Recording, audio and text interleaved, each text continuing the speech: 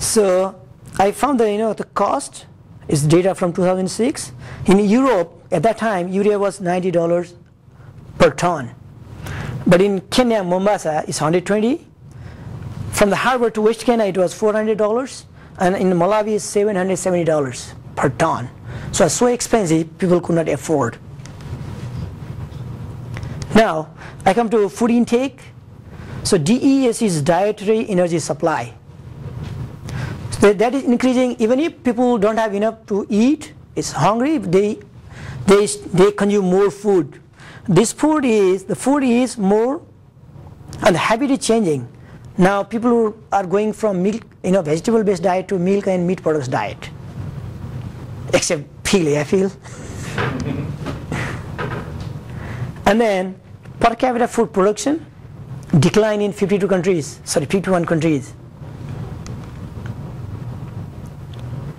So agri production should increase to me the, you know, to meet the resources intensive diet because used to be vegetable diet, now is more milk and meat based diet, so you need more energy and you know nutrient to produce those food. So now I analyze. So these DES, the intake, food intake is directly proportional to income, is very highly significant. But you know, dietary intake slows or plateaus if the income reaches around 5,000. So there are, uh, I forgot, there are many 65 countries or more with per capita income less than 5,000. That means, so these, the energy supply, the food supply should keep on increasing for many years. And then I did the regression. You see, most of the countries are in here less than 5,000. So these countries, because income is increasing, will continue increasing the food intake. So what makes the difference? So they will release more pollutant to the environment. Then agricultural yield, you know, I analyze increases with fertilizer application rate. I think that's obvious and it's very, very highly significant. And uh, the interesting fact is, you know, the production decreased if you have more land. That means the developed countries don't have, you know, big chunk of land. But the poor countries, they have big chunk of land, but they don't know technology, maybe, you know, new cultivar, so many things, no fertilizer, and do not produce good. So if you check the land holdings, like Cape Verde is 0.12 hectare per person, and produces only 222 kilogram per hectare, just that. And the Sudan, it has almost 0.5 hectare per person, produces 452 kilogram per hectare, that low. But if you check of, let's say Belgium, you know the per capita land holding is only 0.8, 0.08, but produces 9,000 kilograms of food, so it's 20 times. 30 times more. And Netherlands is the second highest, I guess, is 8,500 kilogram per hectare. If you check the fertilizer use, Belgium uses, I think, only 111 kilograms per hectare. So this means agricultural resources are underutilized in developing countries because you have land, but you, you are not producing as much as you could. So there is a potential for substantial yield increase. So you need better agricultural cultivars and increased fertilizer use. Yeah. There should be worries about groundwater contamination if you use too much fertilizer. Oh, I didn't consider that. I, I, am just talking good thing about urine urine diversion. yeah, that that that points come in, comes into play because when you use urine, because we treat it, yeah, that's the cost 166 kilowatt hour. That's the cost to treat urine before you apply in the field. So I hope there will be no contamination except the salt thing. Yeah. So maybe a better way to ask that question is you developed your data, you're obviously looking at yields a function of your fertilizer use. Is there an assumption in your work that they've optimized the application of fertilizer fully taken up and does not actually have, you know, are you not wasting fertilizer here that creeps down into the lower aquifers? Uh, yeah, uh, that's a good question. In developing countries, you know, the some of the people, uh, fraction of the people use too much fertilizer, so you pollute groundwater. Like in China, in one city, I think I was finding they use around thousand kilograms urea per hectare per year. But if you check average, it's very low. Same thing for Nepal too. In Kathmandu, in Pokhara, big cities, the people use too much fertilizer and that you know harms the, the crop. But in rural areas, they don't get any fertilizer, not even one kilogram per hectare. So to me, for developing countries, it's not that they want to protect environment and they use less fertilizer. They think that you keep more fertilizer put in will be more production. But you know, rich people, let's say, will be killing their crops using more fertilizer than needed. That's the case in develop, many developing countries now. Uh, did I touch your question? You answered a different one, that's fine. Okay.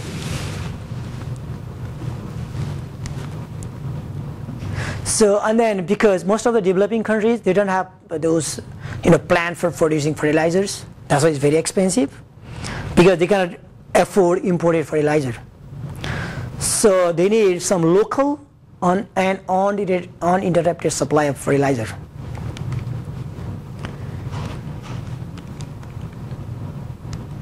So now I come to undernourishment. So in 30 countries, if you check the data, the nutrient excreted from your body is more than they use fertilizer in their farm in 30 countries. If you collect urine and use this fertilizer, so that fertilizer application rate will be more than fertilizer they are applying in 22 countries. So they apply less than 10 kilogram per, per hectare. So if all human waste, fecal matter and urine is, is let's say captured and reused, so undernourishment will be eliminated from the world if it's rightly used. But Burundi, only Burundi will be left. Because they say current rate of undernourishment is 70%. Because their, their dietary energy supply is so low, the excretion is also very low. So they don't produce much fertilizer in their, you know, waste. So I calculated how much, you know, what's the percentage, a fraction of population can be, you know, a lift off, can be, you know, we take out from undernourishment is only 11.5% if you recycle total waste and 10% if you recycle only urine. So all other countries will be good. So human waste should be should act as a localized and uninterrupted source of fertilizer. But you need to treat it before you apply, yeah? So to recycle you need technology, it should be economical to people, society should accept it, and there are legal concerns. So here, if you want to use urine or fecal matter at your yard, maybe regulation doesn't permit you to do so.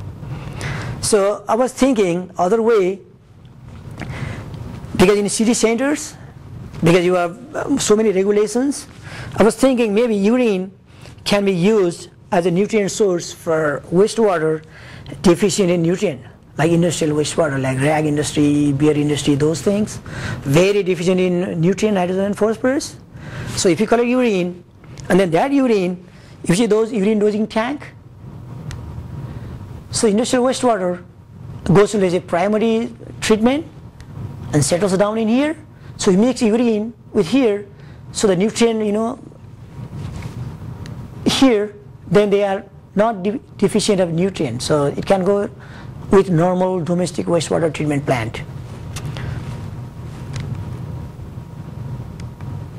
Now, sanitation alternatives. He, oh, sorry. Here, uh, because sanitation is a good alternative of sanitation and also has the potential of uh, urine, sorry, nutrient and estrogen capture. And if people know that urine has a lot of, uh, let's say, fertilizer or nutrient and is relatively safe, so increase can be the use can be highly increased. And then is there a sustainable alternative? So because there are 2.4 billion people without let's say sanitation facilities, let's check. So technology that works fine because people are practicing already. It can work with both on-site and central mode. So can satisfy developing country and developed country need. And then I got some data from WHO. If you want to you want to provide sanitation facilities to the to people to meet MDG Millennium Development Goals, the cost will be 11.3 billion just for on-site systems. If you want in-house system or network system, it will be 136.5 billion, and that will be per year expenditure. So it's very huge. If you want to provide provide network system for all people, you need to spend almost 1760 billion dollars. But if it's EcoSan, this cost I get from from UNEP, they have a cost ladder. It will cost only 160 to 175 dollar per capita, so much less. And ONM is very negligible compared to central sewer systems. Now, is the technology okay? It's economical. We go if is society accept it or not. So we did an online survey in Hawaii. It was 2013 or 12, I guess. So we didn't get many responses, only 30% response rate. So we, we, we record those responses in six categories. So age, sex, education, occupation, religious affiliation, and ethnicity. And we tested the variable. It's again 5% label. If its p is less than 0.05, then it's highly significant. Then what we got, if you check those you know, people have the knowledge of wastewater management or treatment. They know that wastewater is treated. Only 20% were not aware of that. Where does water go? And then UD toilet, people didn't know what UD toilet was. Only 20%, around 20% knew that UD toilet existed. And then, but you know, 66% of the people, they were aware that nutrients are there in the, in the waste. And then we asked whether people will allow you to allow us to install UDT if it's free. They say yes, around around 85%. But we asked whether you want to pay a little bit extra, but uh, you know willingness dwindle to 60%. But still, 60% people are willing to pay extra to have a UDT at their home. So, and then we asked people if you want to use it, what are the motivating factors? And if you don't want to use it, why not? So what are the discouraging factors? If you see, so most of the people they say because it consumes water, 80%. And 70% people say, oh, nutrient recovers, recovery of nutrients is good. And some people say, oh, even a new technology is a green. But the people that are discouraged because not much information around. And 46% people say it's expensive. Some people say also that technology not tested. So we conclude, so we, we, we try to calculate, relay those willingness to pay, WTP. Was it significant based on age, sex, religious, uh, a whole lot of things. But say not much different, but women were a bit had higher willingness to pay than people, but it was not very significant, only 0.2, 25%. And then Caucasian had higher WTP than other people and it was, it was significant. So they want to pay extra. And then older, you know, older age group or educated group because we have four category education, high school, undergrad, grad and master and PhDs. And then those higher education people were, were in favor of UDT. And then if you see the risk, we ask whether urine and fecal matter, they pose the same risk. And then other younger people, they assume urine and fecal matters, they pose same risk. But educated people and older people, they say no, urine is much safer. And then acceptability increase with age and income. Thank you. Thank you WRRC team supporting me for all my graduate studies. Dr. Michael Cooney supporting me now. Thank you for listening. Any questions? Thank you. So I suppose in your calculations, you never really got into, like in a developing country like the United States, what it actually costs. Oh, the urine, di- really urine diversion system you mean? no, you're not, yeah, yeah, the, we're not really thinking about this reinventing for existing infrastructure. You're not gonna re. Yeah, it's- it's- re- It's very hard, very expensive. Well, This is an entirely new, it's got to fit the niche markets and it's got to be taken on. Yeah, In new housing structures. new yeah. And is there, is there anything going on in the United States? Oh, United States? Yeah. You know, you know, I think it was, I forgot the name of the company. They install UD toilet. Uh, there are one company, I forgot the name. They use all UD toilet all over the, they're all offices everywhere. I forgot the name. And then now, you know, the, I showed you the San Jose, the Santa Clara plant. Now what they do, what they tell people, if you want to get connected to the central sewer systems, you go to separate urine. And treat the urine, because they say their uh, wastewater treatment effluent goes to the water bodies that is very sensitive to nitrogen and phosphorus. So they cannot you know, put more nutrient in the receiving water body. so new houses, new housing coming on has to, Has to have that UD. on site. So what happens? Uh, can be central. What they need to do, they need to separate urine using the Why I'm confused, is there separate piping systems? I was, if you separated they have a separate piping system? yeah yeah. Let They me put in a separate piping system? yeah they need to But it says the city. yeah so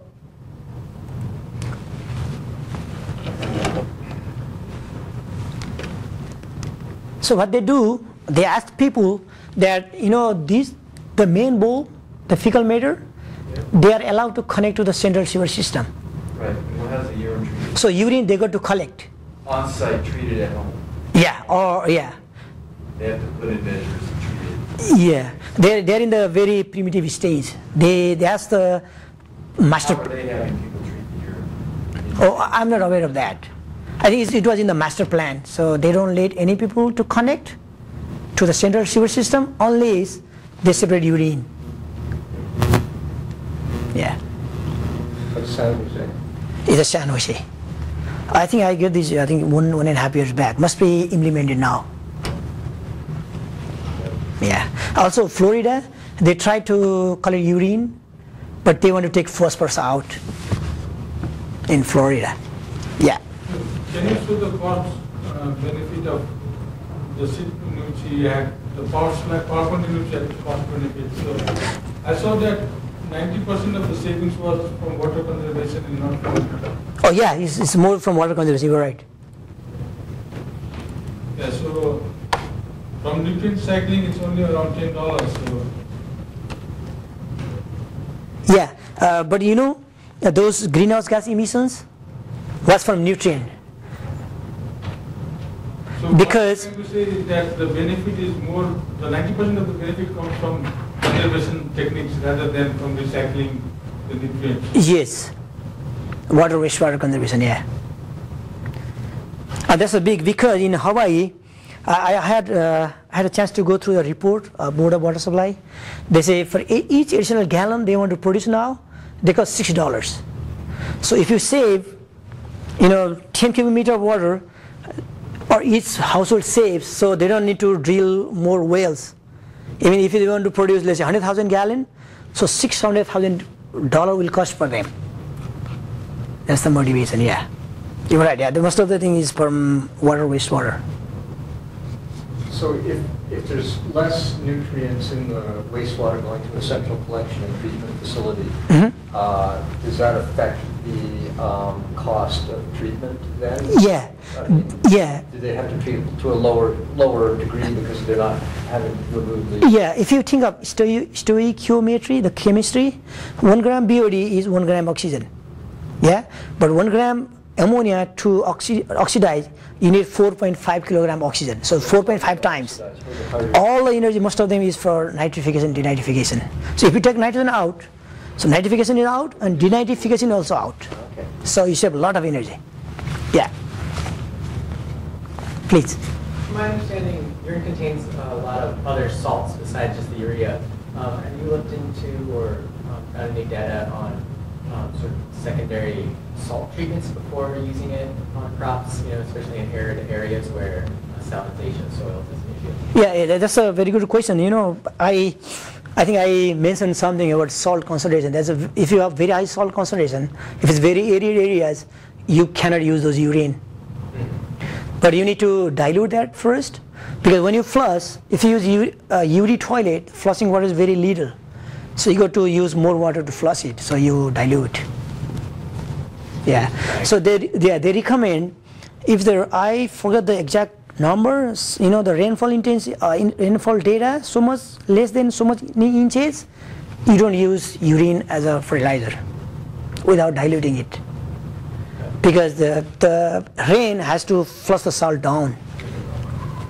Because otherwise plant will be wilting point they call, yeah? Yeah. They will be wilted.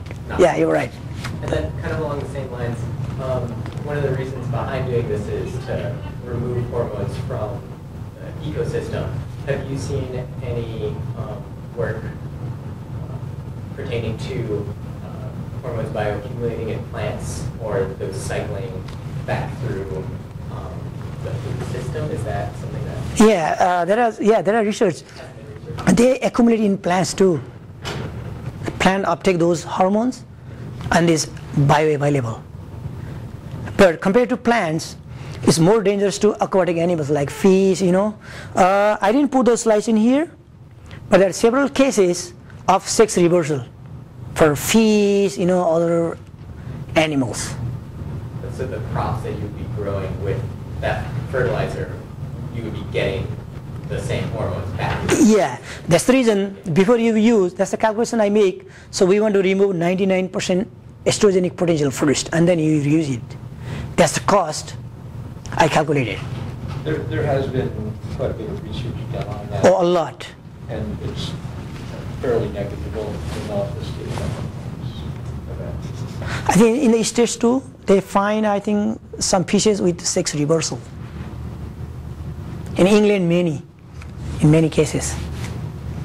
That's the reason I think EPA, because in contaminated CCL3, the contaminant candidate list, CCL2 in 2003, there was no hormones, you know, all those estrogens were not there in the list.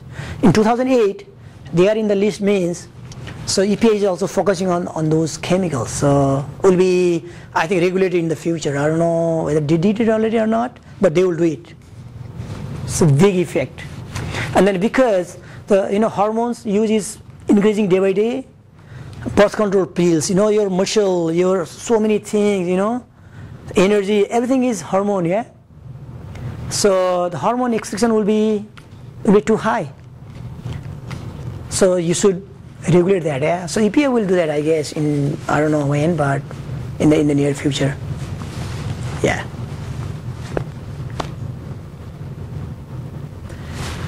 Any questions?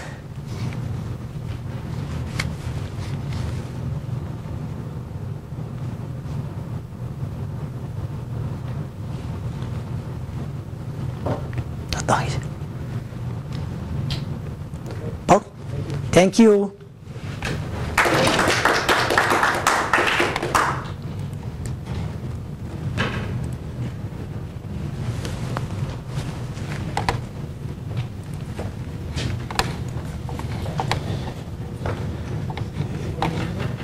Where did it go?